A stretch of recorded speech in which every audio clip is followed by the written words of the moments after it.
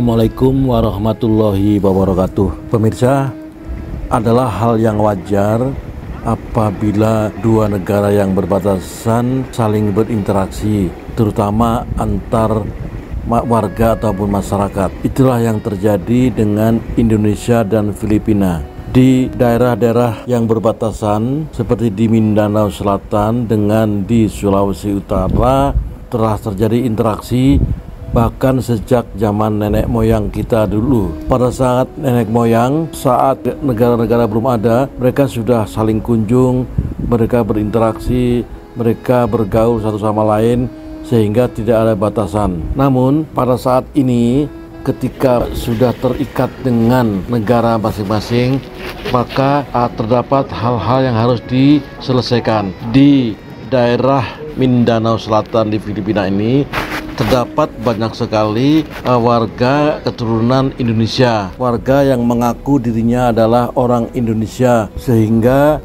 menjadikan perhatian bagi pemerintah, bagi perwakilan untuk bisa mengatasi ataupun memberikan solusi terhadap masalah-masalah yang dihadapi. Terdapat sekitar sekitar 8.000 orang, 8.400 orang terdaftar sebagai orang-orang yang mengaku dirinya Indonesia.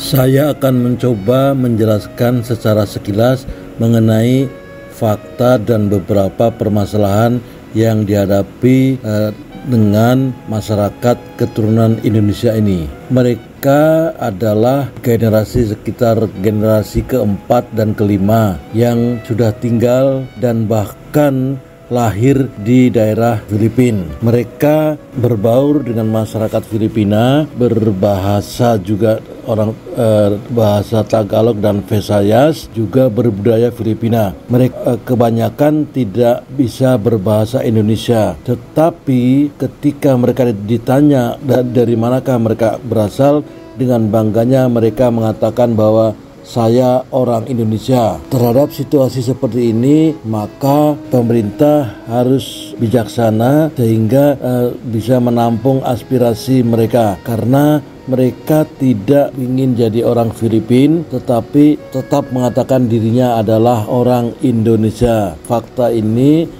membuat masalah yang tidak bisa diselesaikan karena tingkat kehidupan mereka juga tergolong di bawah standar. Bagaimana sebetulnya migrasi ataupun kedatangan mereka ke daerah Mindanao ini?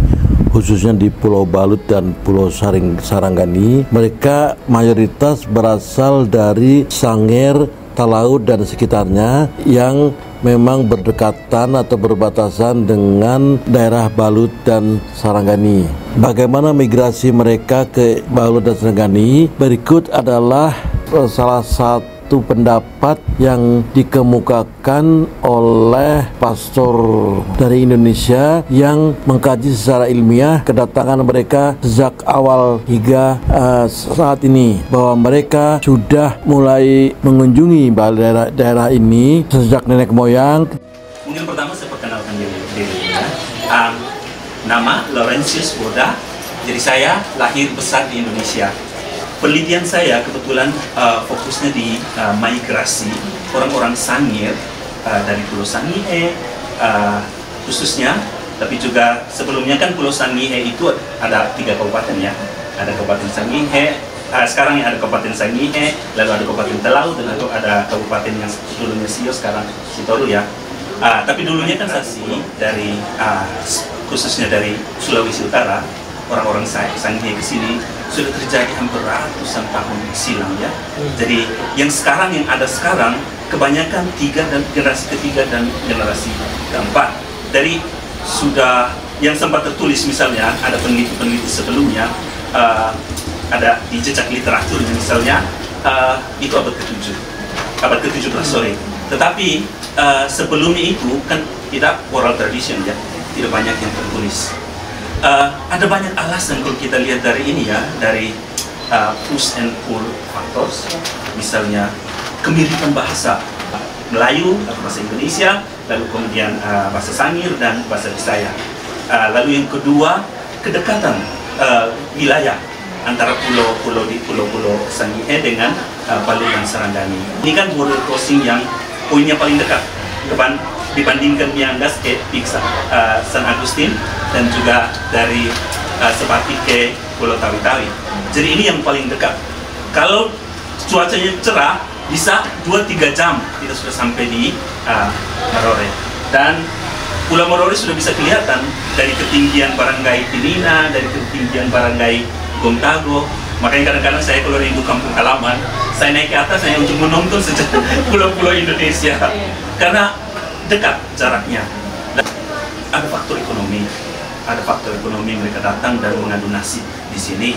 Lalu kemudian um, ada juga karena kecelakaan.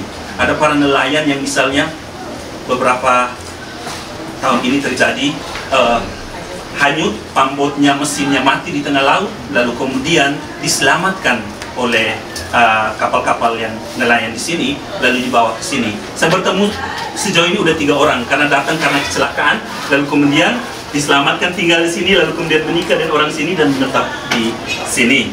Lalu kemudian ada yang beberapa alasan lain juga uh, misalnya yang paling banyak itu ikut keluarga. Yes ikut keluarga karena datang ke sini sudah ada keluarga di sini. Jadi mereka datang dan menetap karena mengikuti keluarga mereka. Saya yakin ada faktor-faktor lain tapi sejauh ini lalu uh, mungkin kita mesti lihat ke belakang ya saya beberapa kali bilang pulau ini dua pulau Saranggani dan Palu secara historis dan kultural mestinya masuk Indonesia Hmm. Ah, karena kita lihat semua tempat di sini, hampir 90% dalam bahasa Sangir.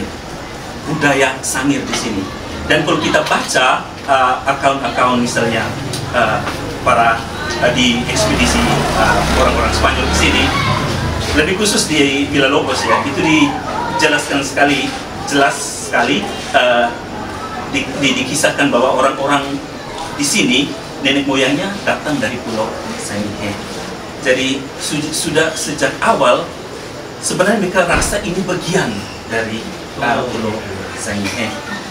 Malah uh, sakit kalau saya tidak salah uh, akhir abad ke-17 atau awal abad ke-18 itu Belanda sempat datang ke sini dan menanam pilar di Pulau Saranggani bertuliskan VOC tapi saya sudah berusaha mencari kiri kanan dan sampai sekarang belum ditemukan mungkin sudah ditanam di rumah-rumah ya jadi pulau ini sejak awal memang Sangir, memang Sangir. Uh, jadi bahasa Sangir dominan. Lalu meskipun sekarang uh, sudah banyak beberapa orang-orang Sangir sendiri juga sudah banyak yang bahasa Bisaya. Lalu di sekolah mereka diekspos dengan bahasa Inggris dan bahasa Tagalog. Tetapi orang-orang di sini juga, misalnya anak orang-orang Indonesia, anak-anaknya masih bisa mengerti dan berkomunikasi dalam bahasa. Terus menurut Pak Loren itu gimana Pak karakter mereka sebetulnya dari segi itu? Oke, okay. um, benar sih uh, Pak Konjen. Um, orang-orang Indonesia di sini kebanyakan lahir dan besar di sini. Uh, memang ada banyak yang sudah kembali ke Indonesia, tapi masih banyak juga yang masih menetap di sini. Lalu ada program kerjasama antara pemerintah Indonesia dan pemerintah Filipina di bawah United Nations uh, 2016 ya kalau nggak salah. Lalu kemudian ada diberi kebebasan untuk memilih jadi warga negara sini atau warga negara Indonesia. Saya fokus kemarin banyak pertanyaan yang ke warga negara Indonesia. Kenapa masih mau memilih uh, Indonesia? Padahal lebih mudah malah di sini karena kalian lahir dan besar di sini ada banyak hal yang mereka jawab. Uh, salah satu termasuknya termasuk salah satunya itu yang menarik saya. Ada yang sebut dalam bahasa Inggris itu blood is thicker than water. Hmm. yes. Darah lebih kental dari air. Bagaimanapun mereka akan tetap orang Indonesia. Itu yang pertama. Lalu yang kedua uh, soal juga legalitas ya yang mempersulit. Misalnya uh, bapaknya Indonesia mamanya Indonesia dia tidak bisa serta merta karena lahir dan dibesarkan di sini dia akan jadi Filipina. Ya. Kecuali dia mau dalam mau ikut proses naturalisasi kan? Tapi itu biayanya besar sekali. Dan orang-orang uh, Indonesia di sini sangat sederhana dan saya yakin mereka tidak sanggup untuk bayar itu.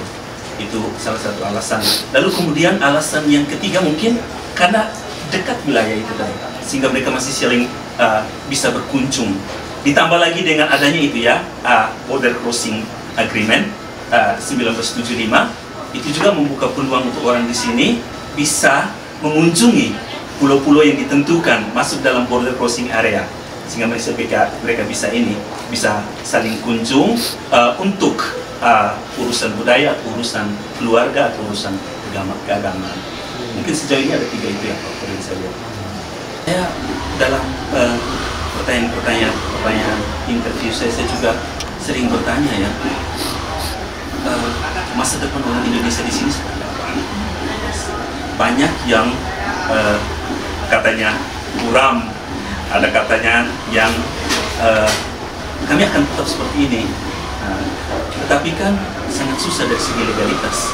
Mereka nggak bisa memiliki tanah di sini, mereka nggak bisa mempunyai status kepemilik, kepemilikan. Kecuali bagusnya kalau seandainya sudah ada kawin campur, uh, mungkin istrinya bisa uh, dicatat nama memiliki sebuah bidang tanah atau begitu gampang.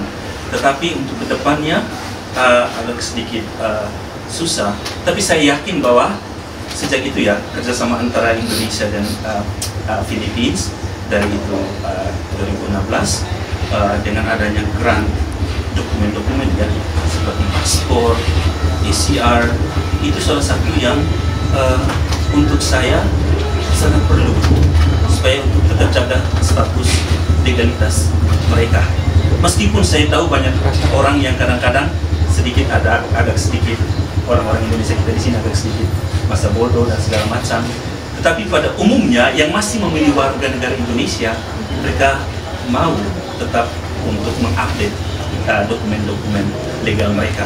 Lalu yang kedua, mungkin seringkan uh, mempersering uh, kunjungan atau sosialisasi dalam bidang budaya dan lebih khusus nasionalisme. Uh, soal nasionalisme, mereka memiliki sebut diri mereka Indonesia tadi seperti tadi yang Pak Konjen sebut tapi soal nasionalisme, mungkin mereka tahu nyanyi lagu Indonesia Raya, nyanyi lagu dari Sabang sampai Merauke, tetapi pengetahuan tentang negara Indonesia sendiri itu sebenarnya masih sangat minim. Uh, saya harap mungkin revitalisasi kembali uh, uh, apa namanya KPDI ya, khusus pengetahuan dasar yang di bawah pamong-pamong itu. Uh, lebih aktif kembali dengan program-program yang mengajarkan tentang uh, nilai moral Indonesia lalu kemudian kewarganegaraan lalu kemudian nasional nasionalisme juga uh, saya senang kemarin karena rombongan dari KJRI KJRI datang uh, juga mensosialisasi sekolah kita di Davao mungkin itu salah satu cara yang paling efektif untuk mengajarkan nasionalisme Indonesiaan kepada anak-anak di sini dengan mengirim anak-anak di sini ke Davao. Lalu juga saya dengar ada program beasiswa, misalnya disponsori atau difasilitasi uh, oleh sekolah kita di Davao untuk berkuliah di beberapa universitas di Indonesia. Itu juga salah satu jalan keluar yang baik karena banyak orang tua di sini yang saya tanya yang anaknya sekarang misalnya sudah di Ganesha di Bandung atau sudah di Banjarmasin banyak ada sekitar berapa orang yang saya tanya mereka bilang mereka berharap anaknya bisa kuliah baik di Indonesia lalu kemudian nanti bekerja di Indonesia dan mereka akan kembali ikut anaknya Indonesia. Jadi salah, sa, saya yakin bahwa dari pihak KJRI juga sudah banyak mengambil langkah-langkah seperti itu. Nah sebagai konjen merasa senang Pak. Kita punya tamu dari akademisi sehingga dijadikan partner bagi kami dari KJRI yang kita untuk mendapatkan masukan, mendapatkan kemudian mungkin bahkan kritikan itu yang kami harapkan. Jadi semua langkah-langkah yang kita lakukan ini ada semacam uh, ada review reviewnya begitu. Untuk itu terima kasih sekali Pak. Terima kasih.